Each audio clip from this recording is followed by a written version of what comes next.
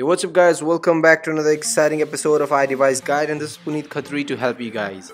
And also I hope you're doing good.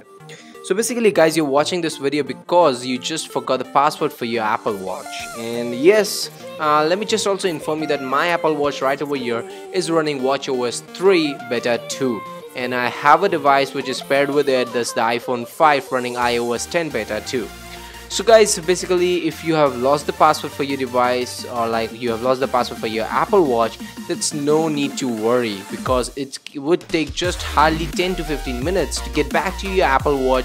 Same settings same configuration same data and working perfectly fine without a password.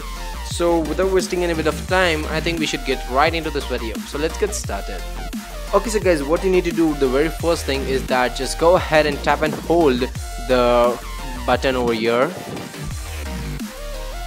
Once you hold that button you would get the options.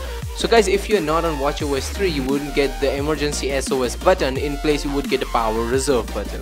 So what you need to do is just go ahead and tap and hold the power off button. Once you release your finger after press and holding the power off button you would get erase all content and settings. Just go ahead and slide it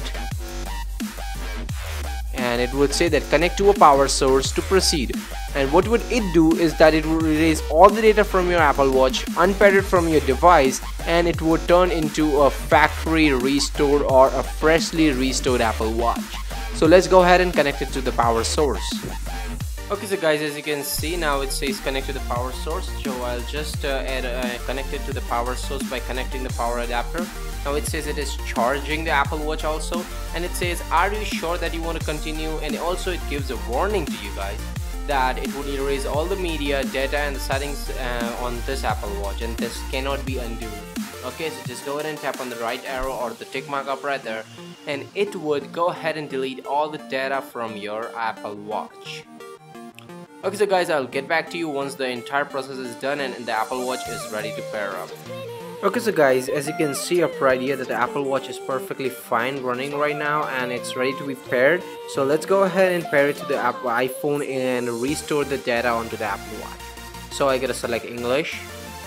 Now I'm gonna select the country region India.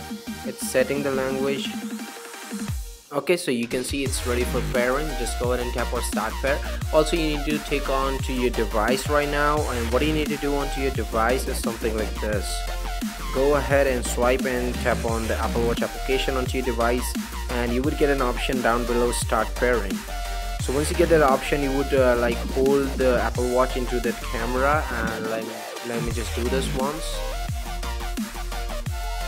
so once you do that successfully you can see that it says Apple Watch is being paired successfully and down right there you get an option to restore from backup so you can restore it from the backups or whatever date so you can see it gives me option two options basically one is uh, today's backup that is for 12:41 p.m. watchOS 3.0 and one or the second one is the yesterday's backup that's 9:30 p.m.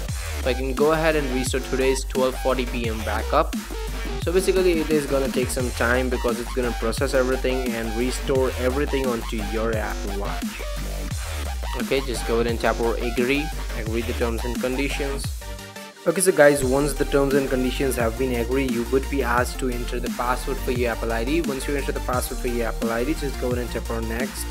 Okay so guys uh, once the entire process is done the apple watch is up again and now you see there's no password onto this Yes, because once you restore the backup of the Apple Watch, the password is not there on the watch. So you can just go ahead and unlock the watch and all the data is there onto the watch. You can see everything, each and everything, whichever was there, like what all things or what applications were there onto your device or your Apple Watch are perfectly there and running perfectly fine. So there is not at all problem. You don't lose any data during this process and you just go ahead and remove the password from your Apple Watch that's about it guys. Now we finally come to an end of this video. I think you enjoyed this video. If you did please do make sure to give a thumbs up to this video. Subscribe to iDevice guide.